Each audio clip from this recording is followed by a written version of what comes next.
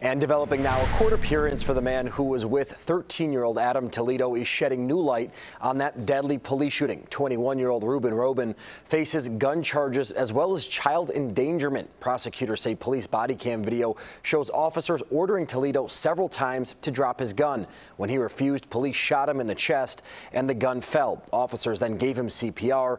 Prosecutors say Toledo's hands tested positive for gunshot residue. Toledo's family is expected to view the police body camera video next week before it is released to the public.